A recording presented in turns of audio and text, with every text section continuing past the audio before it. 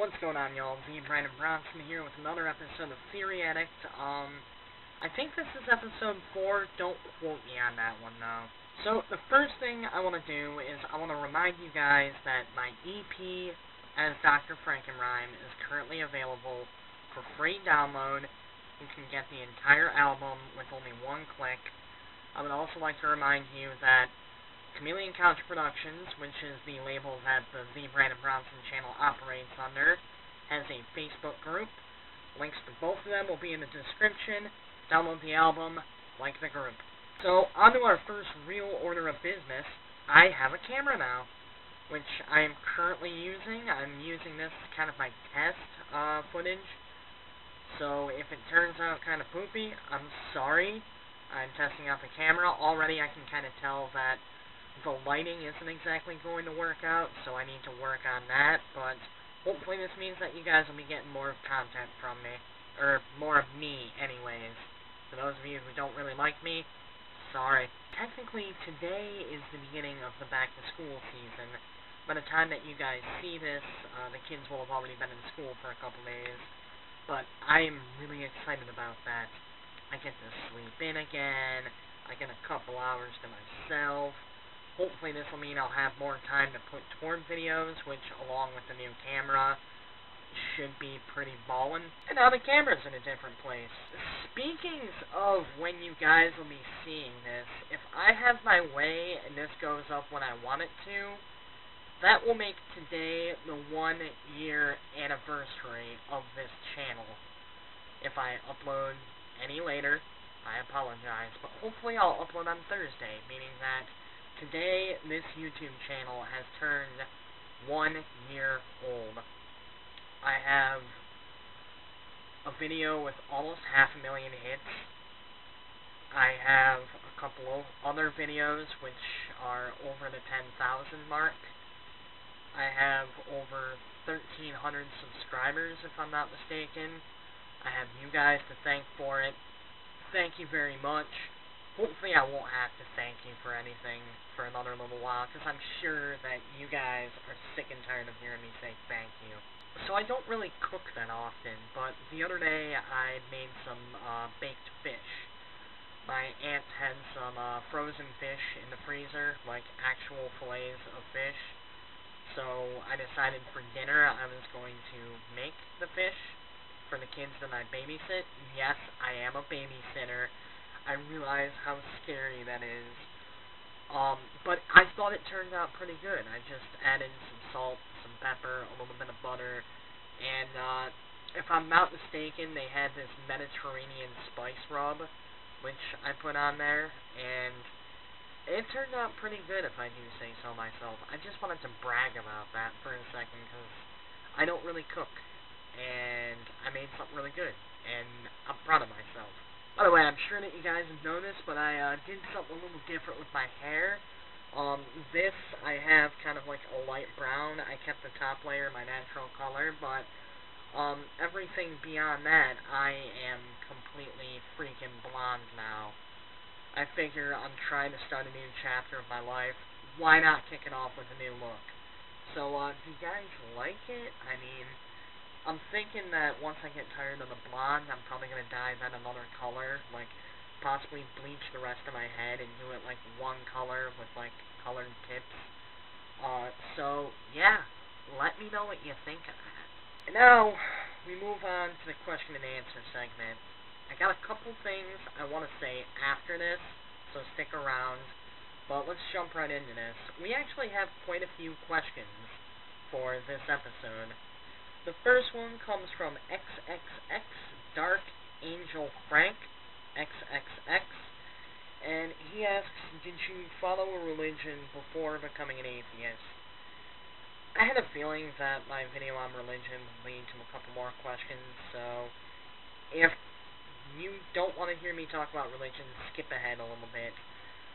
To answer your question, Frank, I did dabble with a handful of religions before I just realized that I don't believe in anything. For the first 12 years of my life, I was a Christian.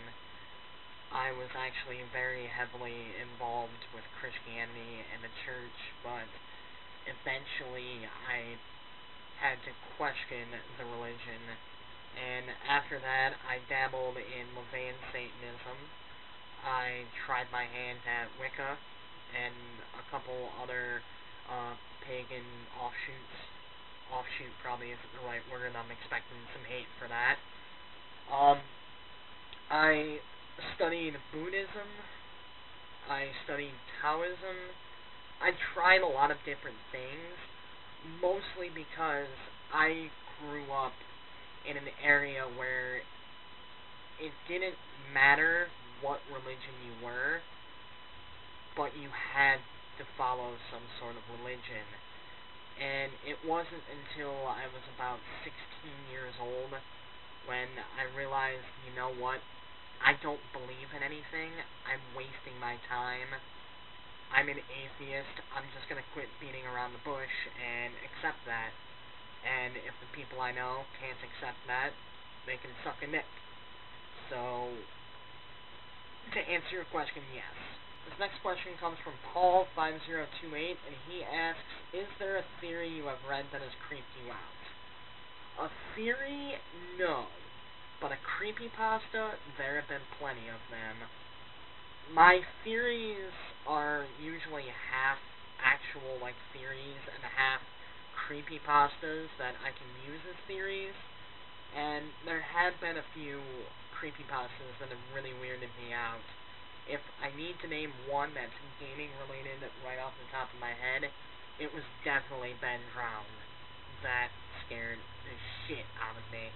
This next question is from Phase Giveaway. They ask, do you drink any energy drinks? If so, what's your favorite? Yes, I do drink energy drinks. I'm trying to cut back on them because I know they're not good for me. You know, because my fat ass who smokes roughly around a pack a day is all of a sudden concerned about health.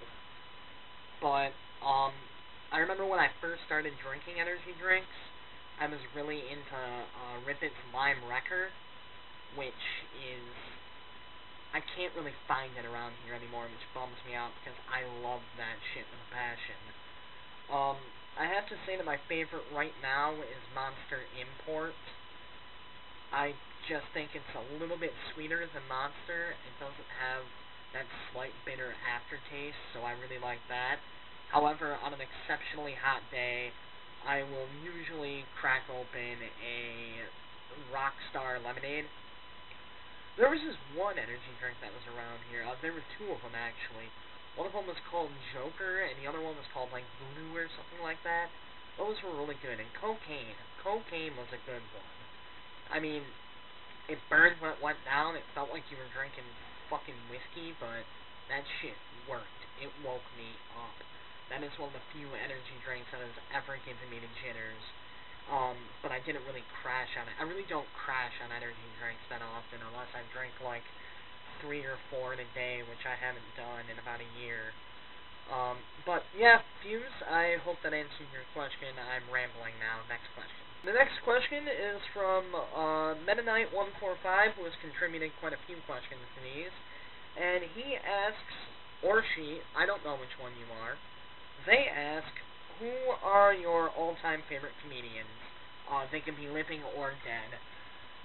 That is actually a really good question. For those of you who don't know, um, I've been trying to get gigs as a stand-up comedian.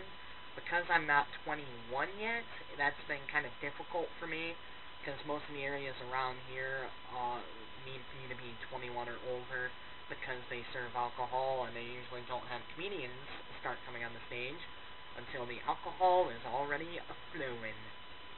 So, to answer your question, though, my favorite comedian of all time has to be Mitch Hedberg. The way that guy set up and delivered his jokes was absolutely perfect, and he had kind of an intelligent sense of humor. Like, it wouldn't be rare to hear, like, bootlegs of crowds who just did not get his stuff but whenever he had a smart crowd, they were on the ground dying of laughter. Um, Lewis Lewis Black is another one of my favorites. I really like him. When I was really, really, really into politics. Uh, I loved his material.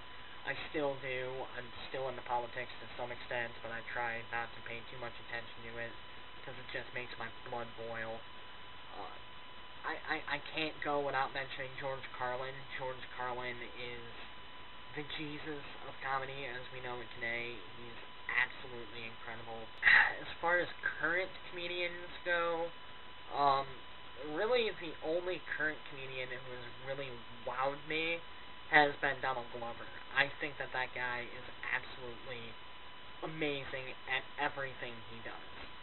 So, hopefully that answers your question, bud. The next question is from T Collet 14. Hey T Collet, how you been? And he or she, I need to start figuring out what fucking sex you guys. Leave a comment down below. Let me know if you have a dick or a vagina. But T Collet 14 asks, what are your favorite TV shows? I have to admit, right now, I don't really watch a lot of TV. Most of my time is spent watching YouTubers whenever I have time to actually sit down and watch something. Uh, really the only TV I watch right now is, uh, that current shows are, uh, I'll sit down and I'll catch professional wrestling whenever I can, whether that's Raw, SmackDown, or TNA. TNA has actually been getting pretty good lately, if you ask me. Um, I really like the show Dexter. I usually watch it on my computer, but it's a TV show. Unfortunately, I haven't really had the time to like sit down and really get into it. I have uh, four seasons of it on my external. I am not even halfway through season one right right now. Um, another one I've been really getting into as of late, thanks to the Hat and uh, Goober and my buddy Mr. Squibbles to some extent, um, has been Doctor Who. With Doctor Who, I don't know why I enjoy it. Because I started in the middle of a season. I had no idea what the fuck is going on. But Matt Smith is just so charming. So, as far as older TV sh- shows go, I watch a lot of the stuff I grew up on. Like, recently I've been watching a lot of Animaniacs which, oh my god, I appreciate that show so much more now that I'm an adult than I did when I was a kid. Um, I recently got Batman the Animated Series, which I plan on digging my teeth into. Um, for a long time, I've been wanting to finish up Cowboy Bebop and uh, Outlaw Star. However, every time I start really getting down and watching those, I end up having to stop for some reason. Forgive me if my voice is a little more nasally than usual. I've got kind of a stuffy nose right now. So, uh, there's that. Oh, Jesus. The last question comes from Mr. Squibbles, the goddamn Jelly Bean Man. By the way, Mr. Squibbles does some really good Let's Plays. So, if you would like to check out a couple of good Let's Plays, I'll have a link down there to his YouTube channel. Um, he only has two episodes up right now, but it's he does a Pokemon Let's Play, but with a twist. It's a hack that randomly generates all of the Pokemon. Like, it randomly generates the starters, what Pokemon appear where. It's a really fucking cool concept, so I suggest that you guys go check that out up here in the Let's Plays. Link's down there. I know a lot of you guys asked me uh, to do a Let's Play. I can't figure out the technology, but Squibbles has, and Squibbles is doing a really good job. Anyways, Mr. Squibbles asks, what is the airspeed velocity of an unladen swallow? African or European? The last thing I wanted to bring up is I'm going to be, at least for the month of September, I'm going to be trying to do a Monday, Thursday, Saturday upload schedule because I have a lot of footage that is on my computer that I need to edit and upload.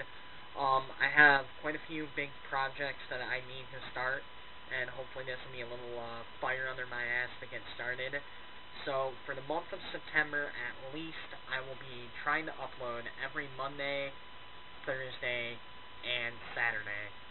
So for those of you who like what I do, yay. For those of you who are only here for the Theory Addicts, eh, I'll try and do one of those. But, uh, with that said, V. Brandon Brownson, I forgot something. first of all, in the comment section, let uh, leave your questions for next time because I love answering those. But I cannot believe I almost forgot to mention this. Expect something big for the one year anniversary of the NNNetty video, which just so happens to fall on an upload day. I already have it filmed. I already have it edit edited. I already have it finalized. It's sitting on my computer, just waiting for you guys. I'm really excited to upload it. You will see it next Thursday. Me, Brandon Brownson, signing out.